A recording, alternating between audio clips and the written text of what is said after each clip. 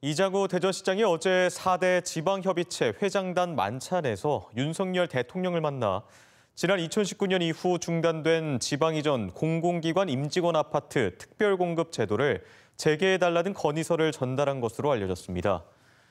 이 시장은 공공기관 임직원들의 안정적인 정착을 위해 아파트 특별 공급을 재개할 필요가 있다며 지난 2019년 12월에 만료된 지방 이전 공공기관 종사자 등에 관한 주택 특별 공급 운영 기준을 대전에 한해서라도 오는 2029년 12월까지 연장해야 한다는 입장입니다.